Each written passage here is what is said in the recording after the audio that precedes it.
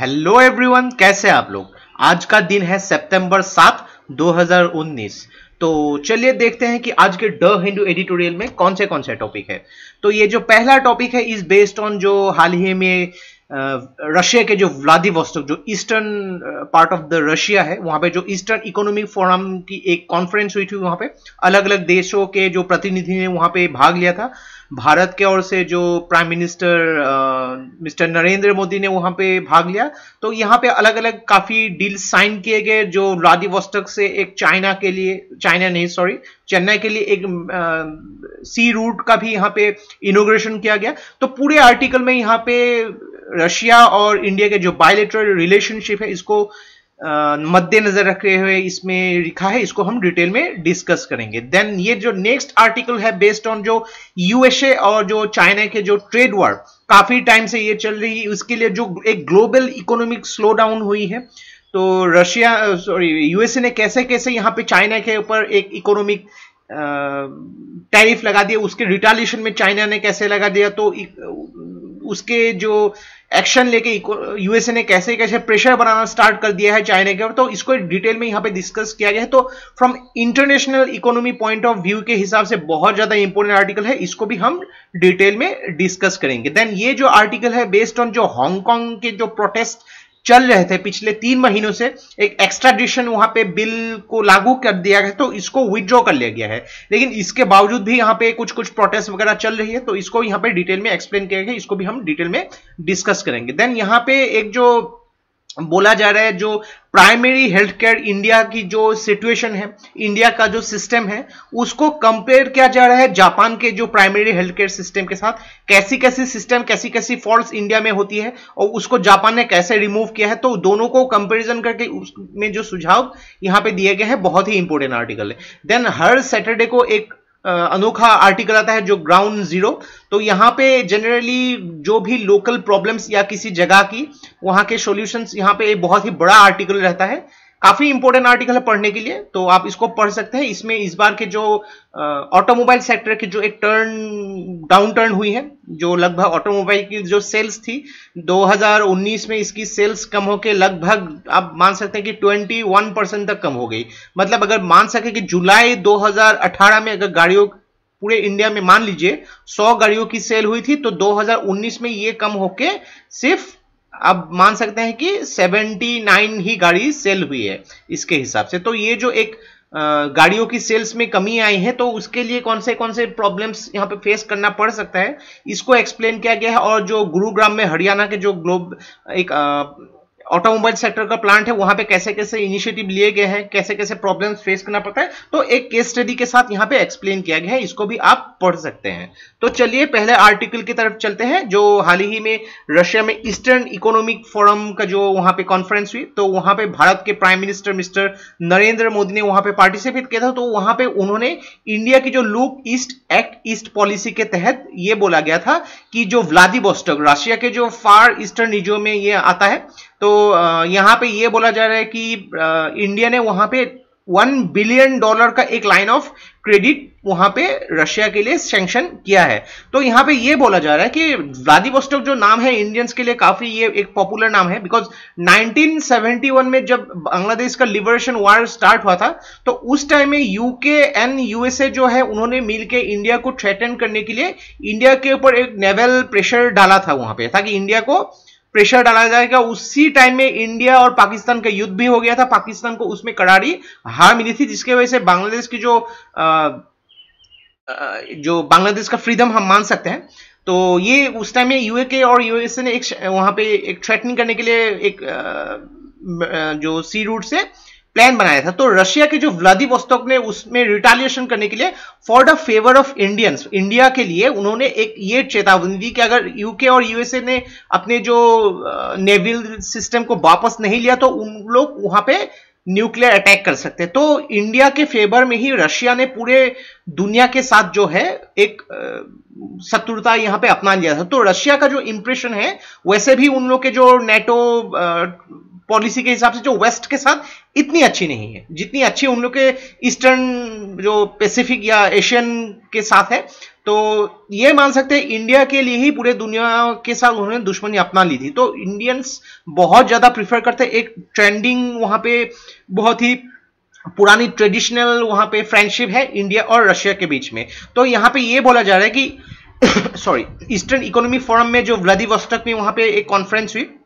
तो रशिया के जो प्रेसिडेंट है व्लादिमीर पुतिन और वहाँ पे जो आ, इंडिया के prime minister mister Narendra Modi तो वहाँ पे काफ़ी सारे इन्वेस्टमेंट किया जाने की बात किया जो ईस्टर्न साइबेरियन और आर्कटिक पोल एरियाज़ में यहाँ पे काम करने की कोशिश करेगी और यहाँ पे जो इंडिया के अलग अलग बिज़नेस प्रोजेक्ट वहाँ पे खोला जा सकता है। तो यहाँ पे ये जो पॉलिसी है कि take off point for act far east तो ये वहाँ पे स्ट्रेंथन करने की वहाँ पे बात चल रही है। तो वहाँ पे दोनों कंट्री के बीच में यहाँ पे जो बिज़नेस लॉन्च हुई है, काफ़ी सारे इकोनॉमिक टाइज हुई है, जो दोनों की बायोलेट्रल टाइज को जो 10 बिलियन यूएस डॉलर से ज़्यादा है इसको यहाँ पे डिफेंस रिलेशन के साथ इसको मज़बूत करेगी। जो इंडिया मान सकते हैं कि इंडिया की जो डिफेंस डील है टुवर्ड्स रशिया जो ये लगभग साढ़े चौदह बिलियन डॉलर की है रशिया के साथ। और रशिया से ही इंडिया जो है लगभग 70 परसेंट जो डिफेंस इक्विपमेंट खरीदती है। हाल ही में जो S four nuclear missile India Russia से खरीदने वाली है तो ये आप जानते होंगे।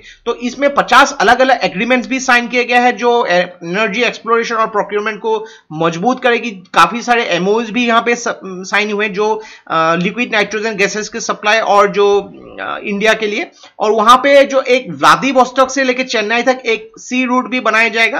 पहले क्या होता था कि जो मॉस्को से पूरा यूरोप घूम के यूरोप के नीचे से आके, जो स्वेस कैनल है, वहाँ से आके मुंबई में ज्वाइन करती थी तो ये जो ड्यूरेशन काफ़ी लंबा होता था काफ़ी ज़्यादा यहाँ पे टाइम एनर्जी और रिसोर्स की खर्चा होती थी तो व्लादिवोस्टक टू चेन्नई जो वियतनाम से होके आएगी तो ये रूट को काफ़ी छोटा कर दी तो उसके लिए यहाँ पे भी साइन हुआ गया और यहाँ पे जो फाइव इयर्स का ये रोड में भी यहाँ पे मज़बूत कर दिया गया जो हाइड्रोकार्बन और एल को यहाँ पे प्रोस्पेक्ट किया जाएगा यहाँ पे जो far east of the Arctic है यहाँ पे तो यहाँ पे उसको मज़बूत करने के लिए अलग अलग ऑयल फीड्स है काफ़ी सारे यहाँ पे एनर्जी रिसोर्सेस है तो इंडिया की यहाँ पे इन्वेस्टमेंट से इंडिया को काफ़ी फ़ायदा होने वाला है यहाँ पे तो यहाँ पे ये बोला जा रहा है कि इंडिया की जो यहाँ पे कॉन्सेंट्रेशन है, यहाँ पे काफ़ी स्ट्रेटेजिक इंप्लीमेंटेशन है यहाँ पे। तो यहाँ पे ये बोला जा रहा है कि ये जो वहाँ पे इन्वेस्टमेंट होगी, वो एनर्जी एक्सप्लोरेशन के लिए काफ़ी काम में आ सकता है। और दूसरी बात है कि वहाँ पे जो आर्कटिक रूट इंडिया को मिल सकता है, जो आर्कटिक रूट पहले एक्सेसिबल नहीं थी, वहाँ पे बर्फ़ बहुत ज़्यादा होती थी तो सी रूट वहाँ पे एक्सेसिबल नहीं थी, लेकिन ग्लोबल वार्मिंग की वजह से ये बर्फ़ काफ़ी पिघल चुकी है तो यहाँ पे सी रूट भी इंडिया को वहाँ से मिल सकता है टुवर्ड्स द जो यूएसए या कनाडा वैसे कंट्री में जाने के लिए। तो यहाँ पे इंडिया की जो डिज़ायर है एनर्जी सोर्सेस के यहाँ पे, जो अनस्टेबल वेस्ट एशिया उसको मेंटेन करने के लिए यहाँ पे काफ़ी इजी होगा इंडिया के लिए। तो यहाँ पे ये जो ज़्यादातर यूरोपियन पावर या पोस्ट सोवियत एरिया के साथ जो कॉन्फ्लिक्ट वहाँ पे चल रही थी तो उसके लिए रशिया के लिए भी ये काफ़ी एक स्ट्रेटेजिक पार्टनरशिप है इंडिया के साथ। तो इंडो पैसिफिक कल हम लोगों ने जो डिस्कस किया था रशिया का जो इंटेंशन है इंडो पैसिफिक में अपनी जो पोजिशन है इंप्रेशन है मज़बूत करने के लिए तो वहाँ पर उसके भी बारे में बात किया गया है। तो रशिया के जो फार साइड में ईस्टर्न साइड में यहाँ पे जो अलग अलग कॉपरेशन है, इसमें अलग अलग कंट्रीज़ ने भी यहाँ पे पार्टिसिपेट किए। जैसे कि जापान ने, कोरिया ने, वहाँ पे भी उन लोगों ने अपनी कंट्रीब्यूट की है ताकि इसमें एक टेरिटोरियल जो डिस्प्यूटेड रीजन है, इसको भी इंप्रूव किया जा सके। तो यहाँ पे ये बोला जा रहा है कि रशिया के पहले ही पुरानी जो एक हम लोग दुश्मनी नहीं बोल सकते, लेकिन एक ऑफ़ फ्रेंडशिप जो है, चाइना के साथ, उसको भी एक स्पेस वहाँ पे मिलेगा। और यहाँ पे ये बोला जा रहा है कि यहाँ पे जो क्रॉस चाइना बॉर्डर क्योंकि चाइना की कुछ कुछ पार्ट जो है, वहाँ पे डोमिनेंस करती है व्लादिवोस्टोक में तो उन लोग यही चाहते हैं कि इंडियंस वहाँ पे आए, उन लोग को इजीली माइग्रेशन मिले तो हम वहाँ पे medical sector engineering sector space sector में काफ़ी वहाँ पे इंडियंस जाके इंप्रूव कर सकते हैं वहाँ पे जाके। तो यहाँ पे इंडिया की जो टोटल कंप्लीट फॉरेन इन्वेस्टमेंट होगी, ये 33 बिलियन की होगी। तो इंडिया के हिसाब से इंडिया को यहाँ पे एक्ट फार ईस्ट जो पॉलिसी के हिसाब से इंडिया यहाँ पे अपनी जो मजबूती कायम करेगी। तो ये लगता है कि कभी कभी मॉस्को जो है मॉस्को के लिए थोड़ा सी कंसर्न थी, लेकिन यहाँ पे जो इंडिया की मल्टीपल असाइनमेंट्स यहाँ पे साइन किए हैं अलग अलग जो रशिया के पार्ट के साथ जो इंक्रीजिंगली पोलराइज्ड वर्ल्ड मतलब अलग अलग दुनिया में जो शक्ति अभी बढ़ चुकी है तो उसके हिसाब से इन दोनों की बायोलिटरल रिलेशनशिप के लिए काफ़ी ज़्यादा महत्वपूर्ण है। तो चलिए नेक्स्ट आर्टिकल की तरफ़ चलते हैं। नेक्स्ट आर्टिकल में जो यहाँ पे ट्रेड वार शुरू हो चुकी है, यानी कि काफ़ी टाइम से चल रही है जो यूएसए और चाइना के बीच में। तो उसके बारे में यहाँ पे बात किया गया है। तो यहाँ पे ये बोला जा रहा है कि जो चाइना और यूएसए के बीच में जो ट्रेड वार चल रही है, ये काफ़ी टाइम से चल रही है और ये जो है इकोनॉमिक वर्ल्ड इकोनॉमी के लिए बहुत ही खतरनाक बन सकती है वहाँ पे। तो बात ऐसा है कि अगस्त 20 जो 2018 यहाँ पे 2018 मेंशन नहीं किया गया है आर्टिकल में। तो यहाँ पे ये बोला जा रहा है कि यूएस एडमिनिस्ट्रेशन ने जो चाइना के ऊपर 15 परसेंट टैरिफ को यहाँ पे एक्सटेंड कर दिया है, जो चाइना के 300 बिलियन यहाँ पे उन्होंने एक्स्ट्रा सामान उन लोग चाइना से इंपोर्ट करवाते थे। पहले से भी उन लोग जो 2018 में जो चाइना के जो 500 बिलियन जो यूएस डॉलर से इंपोर्ट करवाती थी। मतलब यूएसए जो है, चाइना से जो सामान इंपोर्ट करवाती थी, ये लगभग आप मान सकते कि 500 बिलियन यूएस डॉलर के आसपास है। तो इसमें उन्होंने लगा दिया 25 परसेंट का टैरिफ मतलब ये जो है, इसके लिए उन लोग को टैरिफ 25 परसेंट एक्स्ट्रा देना पड़ेगा। तो इसके वजह से क्या होगा कि डेफिनेटली चाइना को ज़्यादा पेमेंट करनी होगी। तो ज़्यादा पेमेंट करने के लिए उन लोग को बिज़नेस को बढ़ाने के लिए क्या होगा कि उन लोग जो सामान है, सामान की जो प्राइस उसको बढ़ानी पड़ेगी। मान लीजिए कि कोई भी जो सामान थी पहले, वो अगर हंड्रेड डॉलर में मिलती थी, लेकिन वो अभी बढ़ के जो है मान लीजिए कि वो हंड्रेड एंड ट्वेंटी डॉलर हो जाएगी, क्योंकि ये जो ट्वेंटी फाइव परसेंट का टैरिफ लगाना पड़ेगा, इसके लिए ये जो उसको बैलेंस करने के लिए चाइना को उस पर्टिकुलर सामान जो कमोडिटी का प्राइस बढ़ाना पड़ेगा। और मान लीजिए कि अगर सपोज़ कोई भी अगर प्रोडक्ट जो यूएसए का खुद का प्रोडक्ट था, वो अगर 110 डॉलर का था, चाइना बेचती थी 100 डॉलर में, वो उसकी क्वालिटी अच्छी थी तो उसकी जो है सेलिंग काफ़ी ज़्यादा होती थी डिमांड बढ़ती थी। लेकिन अगर ये 120 डॉलर कर दिया गया तो लोग क्या होगा कि यूएसए की प्रोडक्ट को ज़्यादा प्रिफरेंस देंगे। तो ये एक बात हुई तो इसके वजह से चाइना ने भी काफ़ी इसको मूल्य के इकोनॉमी पे काफ़ी असर पड़ता है।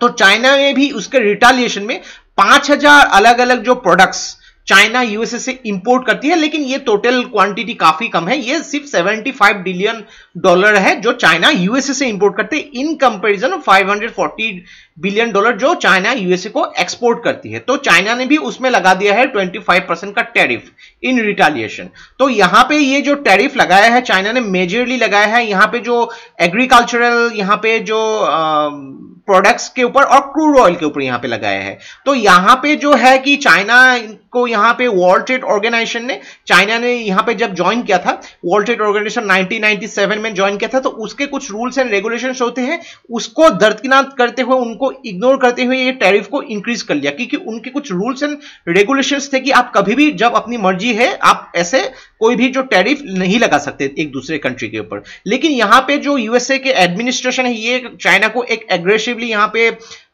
डोमिनेट करने की कोशिश कर रही है कि चाइना पहले तो यूएसए ने अपना यहाँ पे एक स्टेप लिया चाइना ने स्टेप लिया तो यूएसए का अभी यूएसए बार बार चाइना को अपने पॉलिसी से, अपनी एग्रेसिव पॉलिसी से यहाँ पे अटैक करिए। तो पहला अटैक उन लोगों को अगर मान सकते हैं कि इंटेलेक्चुअल प्रॉपर्टी राइट्स के ऊपर, जो अमेरिकन कंपनीज़ के है बेजिंग में तो उसके ऊपर यहाँ पे, वहाँ जो टेक्नोलॉजिकल प्रॉपर्टी सिस्टम के ऊपर, वहाँ पे चाइना के ऊपर वहाँ लोक लगा के रखा है। और यहाँ पे यूएसए ने वहाँ पे एक जज और जो जूरी के हिसाब से चाइना को इंडल्ज करके ये बोला गया है कि वहाँ पे जो फोर्स टेक्नोलॉजी ट्रांसफ़र उन लोग वहाँ कर रहे हैं, जो उनके जो प्रोविजंस है, उसके अगेंस्ट है according to the Trade Act of 1974 तो इसके हिसाब से ये जो एक सेक्शन 301 यूएसए के जो पॉलिसी है, उसके हिसाब से यूएसए उनको इन्वेस्टिगेट करेगी जो इंटेलेक्चुअल प्रॉपर्टी राइट्स यूएसए के कंपनी बेजिंग में है वहाँ पे, क्योंकि आप जानते हैं कि जैसे कि काफ़ी सारे प्रोडक्ट्स जो चाइना एक्सेसिवली बना लेती है, वो उसके अगर कोई भी प्रोडक्ट हो सपोज़ आईफोन है आईफोन का एग्जांपल दे रहा हूँ मैं तो आईफोन का एक डुप्लीकेट कॉपी उन लोग बनाते हैं और पूरे दुनिया में सपोज़ आईफोन का सेल होता है हंड्रेड डॉलर में चाइना उसको बेचेगी 25 डॉलर में। तो पूरी दुनिया में उसकी सेलिंग काफ़ी ज़्यादा हो जाती है, जो टेक्नोलॉजी का ट्रांसफ़र ये बोलता है कि यूएसए हम लोगों से ये चाइना ने चुराया है। तो इस जो एक्ट के तहत, जो अगर सेक्शन 301 के तहत यूएसए अभी इन्वेस्टिगेट करेगी और उसमें अगर चाइना को वहाँ पे गिल्टी पाया गया तो वहाँ पे ट्रेड रिटेलिएशन के बेसिस पे, वहाँ पे ऊपर सैंक्शंस लगा दिया जाएँगे। और ये जो टैरिफ है, ये टैरिफ चाइनीज़ जो प्रोडक्ट है, उनके ऊपर काफ़ी यहाँ पे असर पड़ने वाली है। और जो ये सेक्शन 301 जो एक्शन है, इसके वजह से ये जो बोल रहे कि डब्ल्यूटीओ रूल्स के खिलाफ है, लेकिन यूएसए उसको ध्यान कभी भी दे ही नहीं रही है। तो यहाँ पे ये बोला जा रहा है कि ये जो सिस्टम है, जो, जिसके वजह से यूएसए एडमिनिस्ट्रेशन ने जो लिया है, वो जो मल्टीलेटरलिज्म तो पूरी दुनिया की, हर जो कंट्रीज़ के साथ जो एक दूसरे का जो ट्रेड रिलेशनशिप है, उसको यहाँ पे खत्म करने जैसी की एक प्रॉब्लम आती है तो डब्ल्यू ने यहाँ पे जो प्रॉब्लम्स क्रिएट किए हैं प्रॉब्लम्स नहीं, यहाँ पे जो वार्निंग्स दी है यूएसए ने उसको इग्नोर करती चली गई है। और यहाँ पे ये बोला जा रहा है कि यूएसए के जो सेक्रेटरी ऑफ़ ट्रेजरी है, वहाँ पे स्टीवन मुंचिन तो यहाँ पे ये बोला जा रहा है कि सेक्शन 3004 के हिसाब से यहाँ पे ऑमनीबस ट्रेड और जो कॉम्प्री कॉम्पिटिटिव एक्ट के हिसाब से वहाँ पे उन लोगों के साथ एक्शन लिया जा सकता है। तो यहाँ पे ये बोला जा रहा है कि यूएस के ट्रेड पार्टनर्स जो है, वो करेंसी मैनिपुलेटिंग कर रही है, जो चाइना जो है अपनी जो करेंसी है, वो कम कर दिया है। कम कर देने का उनका पीछे मतलब है कि मान लीजिए कि अभी जो चाइनीज़ युवान है, एक डॉलर अगर यूएस डॉलर अगर खरीदना है तो मान लीजिए सेवन चाइनीज़ युआन वहाँ पे ज़रूरी होता है। लेकिन चाइना ने ये है, ये कम कर दिया है। मान लीजिए कि अगर आठ कर दिया तो क्या होता है? इसके वजह से जो करेंसी मैनिपुलेशन के हिसाब से वहाँ पे एक उनका उनका इंटरनेशनल ट्रेड में वहाँ पे एक एडवांटेज मिलेगा। तो यहाँ पे भी जो यूएसए के सेक्रेटरी ऑफ़ ट्रेजरी ने उनके ऊपर एक एलिगेशन लगाया है कि उन्होंने अपने जो पर्पोजफुल बेनिफिट के लिए, जो एडजस्टमेंट के लिए इंटरनेशनल ट्रेड्स को मेंटेन करने के लिए करेंसी का मैनिपुलेशन बार बार चाइना ने यह किया है। तो उनके ऊपर एक एलिगेशन यहाँ पे लगाया है। तो यहाँ पे जो डोनाल्ड ट्रंप के एडमिनिस्ट्रेशन है, दो अलग अलग सेट के इशू में, चाइना के जो सिस्टम के ऊपर यहाँ पे उन्होंने एक्शंस लिए हैं। तो यहाँ पे ये बोला जा रहा है कि यहाँ पे उन लोग के जो यूएस यू डब्ल्यू के जो मेंबर्स ने जो रूल्स वगैरह यहाँ पे अलाउ किया था, उन लोग को यहाँ पे कुछ रूल्स को यहाँ पे उन लोगों ने निगोशिएशन जो थे, उसके लिए उन पे कुछ यहाँ पे ध्यान ही नहीं दिया। और जो भी सेटलमेंट मैकेनिज्म था डब्ल्यूटीओ के जो मेंबर्स करना चाहती थी, दोनों देश जो चाइना और यूएसए को मिलाने के लिए तो उनको ये फ़ंक्शन ही नहीं होने दे यूएसए ने। तो ये बहुत सो, बहुत गलत स्टेप्स यूएसए अभी ले रही है। मतलब आप बोल सकते हैं कि हाइपर एग्रेसिव स्टेप्स जो यूएसए ले रही है यहाँ पे। तो यहाँ पे जो एक एपिलेट बॉडी है, इसका सेवन मेंबर्स ने इसको फ़ंक्शन करने के लिए यहाँ पे कोशिश ही नहीं किया है यहाँ पे। तो यहाँ पे यूएस एडमिनिस्ट्रेशन जो है, उन लोग ने अपने जो रिटायरिंग मेंबर्स है, एक बॉडी यहाँ पे गठन की है, जिसके वजह से ये जो डिस्प्यूट सेटलमेंट मैकेनिज्म इसको अभी कैसे कंट्रोल किया जाएगा, कैसे सिस्टम को हाथ में लिया जाएगा, ताकि जो इंटरनेशनल ट्रेड है इंटरनेशनल जो ग्लोबल इकोनॉमिक सिस्टम उसमें स्लो डाउन ना हो, क्योंकि यहाँ से बहुत प्रॉब्लम्स फेस करना पड़ सकता है यहाँ पे।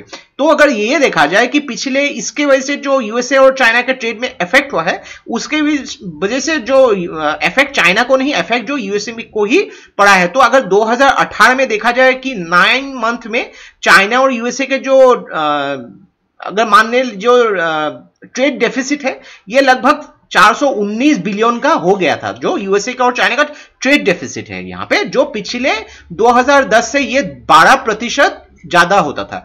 और यहाँ पे माना जा सकता है कि उसमें से सिर्फ़ जो 2018 के पिछले पाँच महीने में ही ये था लगभग एक सौ छियानबे लगभग 200 बिलियन के आसपास, जो पंद्रह प्रतिशत ज़्यादा था लगभग 2017 के मुकाबले। तो ये जो सिस्टम यहाँ पे यूएसए ने कर जा रहे तो ये जो ट्रेड डेफिसिट उसको कंट्रोल में के लिए कामयाब नहीं हो पा रही है यहाँ पे। लेकिन यहाँ पे जो ओवरऑल ट्रेड डेफिसिट है यहाँ पे जो है उसमें एक आ, जो ट्रेड होती थी इसमें एक टेन परसेंट की कमी आई है मतलब जितना चाइना इंपोर्ट करती थी।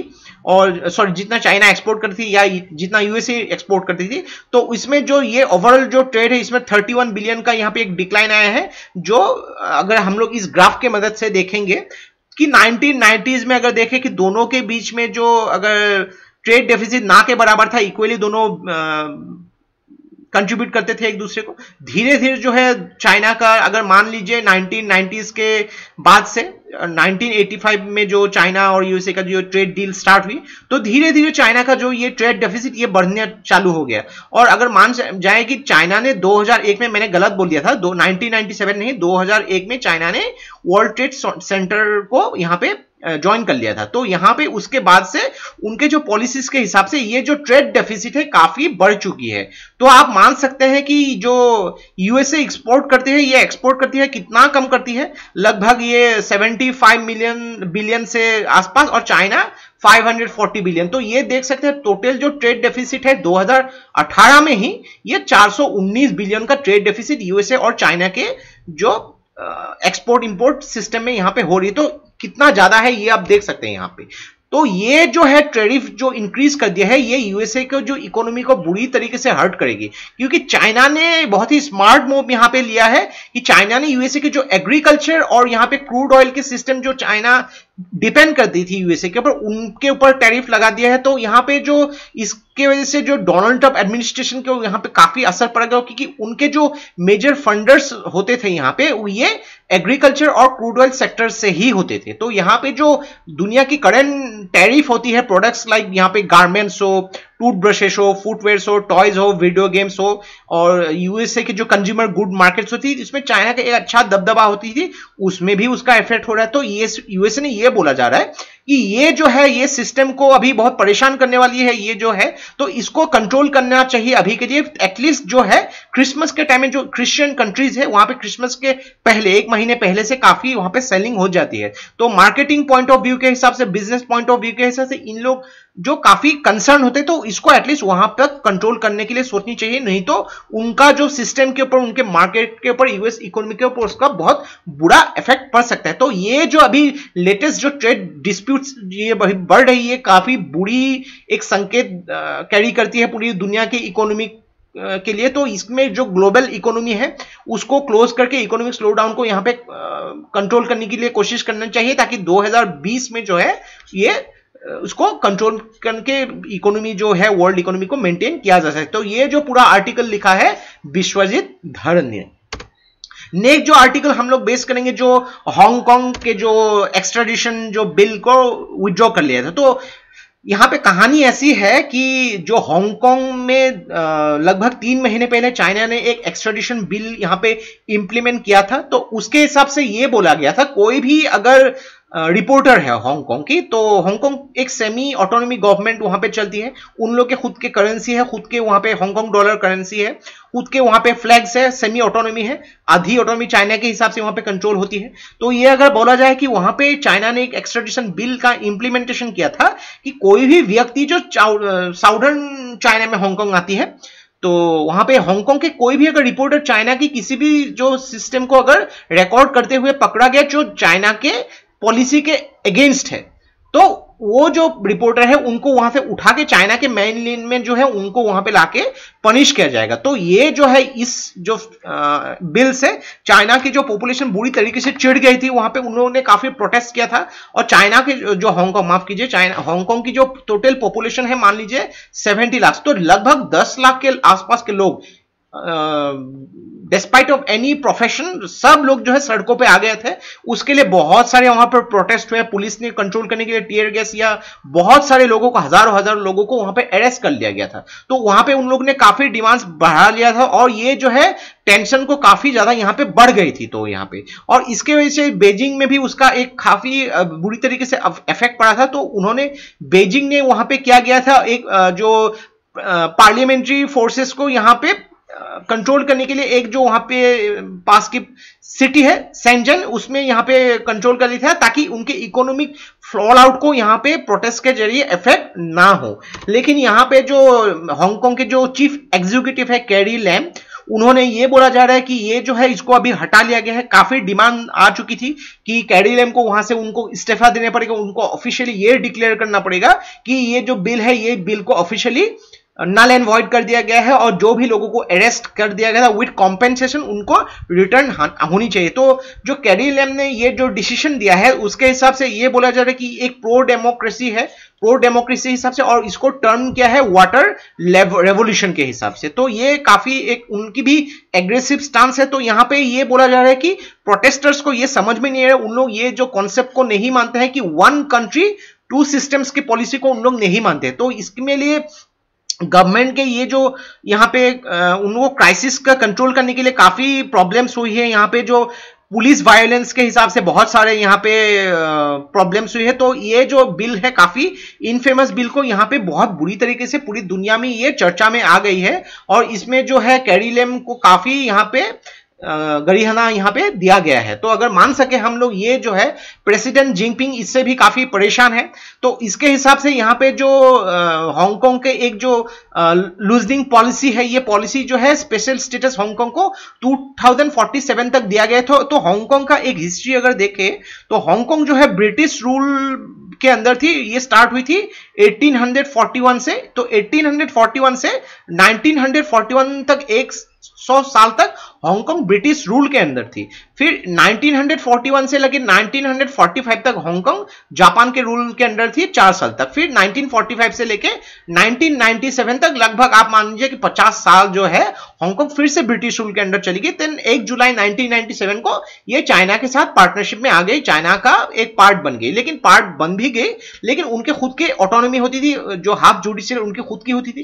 खुद की हांगकांग डॉलर करेंसी है, खुद की फ्लैग है। तो मान लीजिए कि जो उन लोग लगभग डेढ़ साल जो है ब्रिटिश के अंदर रहने के बाद उनकी जो आइडियोलॉजी उनकी जो सिस्टम ब्रिटिश टाइप की ही हो चुकी थी, जो चाइना के सिस्टम उन लोग नहीं मानते थे। और अगर बात करेंगे कुछ कुछ अलग जो है ताइवान जैसे कि ताइवान में भी एक जो है चाइना का एक दखल अंदाजी है, हम लोग ये नहीं बोल सकते कि ताइवान जो है कंप्लीटली एक इंडिपेंडेंस कंट्री है चाइना से। तो ये जो दर है, ये चाइना को सता रही है कि उन लोग भी इंडिपेंडेंस के लिए फिर से वायोलेशन ना कर दे या जो प्रोटेस्ट ना कर दे। तो ये जो वाटर रेवोल्यूशन हांगकांग प्रोटेस्ट को यहाँ पे बात किया जा रहा है तो इसमें जो सोशल क्लास है और जो वहाँ पे जो बढ़ती आने वाली जो आबादी है, उसके लिए ये काफ़ी प्रॉब्लमेटिक यहाँ पे होने वाली है। तो अगर देखा जाए तो ये जो एक कोहेसिव लीडरशिप मेंटेन करनी चाहिए थे, ये अभी मेंटेन करना एक बहुत ही बड़ी चैलेंज हो चुके हैं वहाँ पे। और वहाँ पे जो बिज़नेस बात करें इकोनॉमी बात करें एनवायरमेंटल के हिसाब से हांगकांग की जो जीडीपी ग्रोथ है, पिछले सबसे कम ज़्यादा फाइनेंशियल क्राइसिस पे यहाँ पे चल रही है। और हांगकिंग हांगकॉन्ग की जो क्रेडिट एजेंसी ने वहाँ पे जो रेटिंग्स दी है ये डबल ए प्लस से लेके ये कम होके ए डबल ए तक हो चुके हैं, जो एक फाइनेंशियल बफर सिटी हांगकांग को माना जाता था। एशिया का यहाँ पे लीडिंग फाइनेंशियल हब माना जाता था। तो ये काफ़ी प्रॉब्लम्स में आ गई है। एक जो वहाँ पे इकोनॉमी फाइनेंशियल कैपिटल ये डाउन में आ गई है। काफ़ी सारे प्रोटेस्ट काफ़ी सारे एयरपोर्ट तक वहाँ पे प्रोटेस्ट होनी चली तो, तो वहाँ पे जो एयरलाइंस भी वहाँ पे बैन हो गए थे वहाँ पे चल नहीं रही थी। तो काफ़ी ज़्यादा एक ग्लोबल ट्रेड जो यूएसए और चाइना के बीच में चल रही है उसको एस्केलेट कर रही है हांगकांग की ये प्रोटेस्ट लेकिन यहाँ पे जो आ, सी जिनपिंग जो चाइना के प्रेसिडेंट है उनकी जो एग्रेसिव यहाँ पे पॉलिसी है ये पॉलिसी यहाँ पे काम नहीं कर पा रही है जो चाइना की इकोनॉमिक टेक्नोलॉजिकल स्ट्रेटेजिक डोमिनेंस को मेंटेन करने के लिए। तो हांगकांग एक उसका बेस्ट एग्ज़ाम्पल है यहाँ पे। तो यहाँ पे ये बोला जाए हांगकांग के जो यहाँ पे इंपोर्टेंट क्रूज है पॉलिटिकल डायमेंशन और उसको अप्रोच में लेके जाने के लिए ये काफ़ी प्रॉब्लमेटिक होती है। तो यहाँ पे जो करंट डिसकॉन्टेंट है, उसको इमीडिएटली चैलेंज में लाके, उसको कंट्रोल में लाना चाहिए ताकि ये जो एकोमेटिव पॉलिसी है यहाँ पे, ये एक ओवरऑल इंटेंट के हिसाब से उसको सर्व किया जा सके। तो आज के हमारे ड हिंदू एडिटोरियल में बस इतना ही। अगर आप लोग को हमारा आज का वीडियो अच्छा लगा, इसको प्लीज़ लाइक कर दीजिए सब्सक्राइब कर दीजिए और शेयर कर दीजिए। हम एक बिल्कुल ही नया यूट्यूब चैनल है तो आप लोग का सपोर्ट हम लोग को बहुत ज़्यादा मोटिवेट करेगा हार्डवर्क करने के लिए। और आज शाम को देखना मत भूलिएगा हमारा जो स्टडी राइज का करंट अफेयर्स और आशा करते हैं आप लोग उसको भी उतना ही प्यार देंगे जितना प्यार आप द हिंदू एडिटोरियल को देते आ रहे हैं। तो आज के लिए बस इतना ही। कल रविवार है, कल हम ला रहे हैं जो पूरे हफ़्ते का जो सबसे इंपॉर्टेंट करंट अफेयर्स है, उसको एमसीक्यू फॉर्मेट में डिस्कस करने की बारी है। तो आज के लिए बस इतना ही। Take care thank you and जय हिंद।